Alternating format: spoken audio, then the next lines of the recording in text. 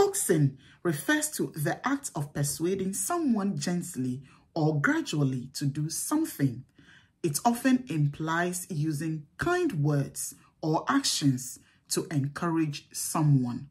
It has synonyms such as enticing, flattering, leading on, persuading, inducing, etc.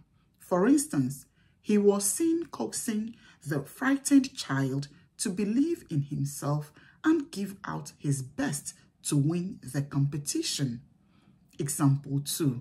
After several hours of coaxing from his mother, he finally agreed to take the driving test once again. Have you gotten it? Yes. Well done. Thank you so much. This has been your favorite online teacher, Janny. See you soon in our next lesson. Bye.